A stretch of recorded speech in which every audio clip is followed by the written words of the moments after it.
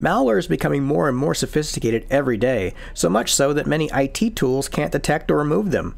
In this video, I'm going to introduce you to a very powerful removal tool that everyone should have in their wheelhouse. This is Nico Knows Tech. Nico Knows Tech, all your tech tips and reviews on deck.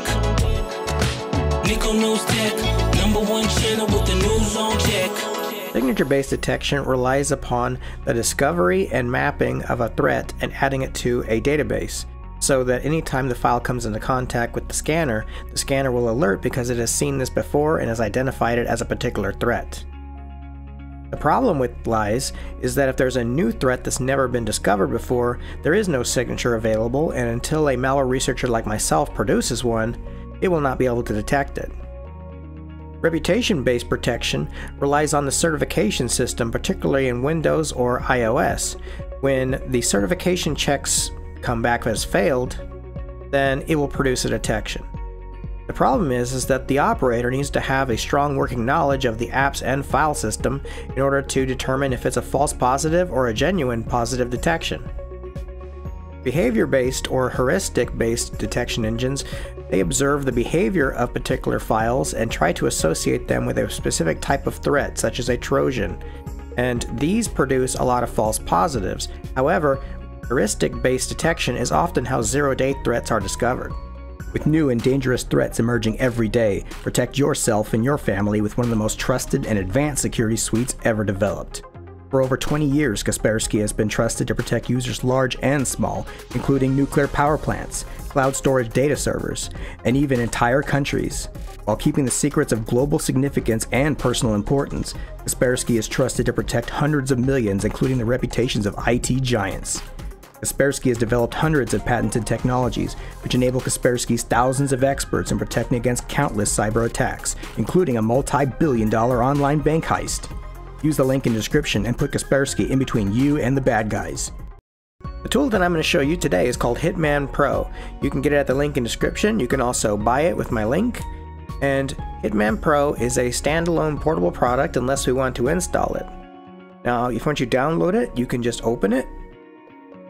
And then it will automatically update for you. Then I'm going to go into the settings because we are going to do some advanced level stuff. Then we're going to go to advanced and here I'm going to paste my API key. I'm not going to show you it.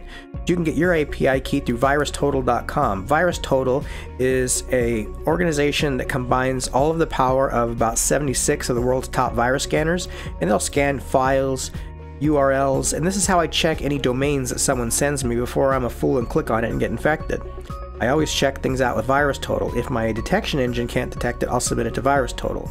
But we're going to be able to apply the power of VirusTotal and its 76 plus scanners to Hitman Pro. So essentially, we'll be scanning with almost all of the antivirus companies in the world. After you save your API key, you can just click Next, and then accept the terms, then Next again, and then here we're going to click No because we only want to perform a one-time scan.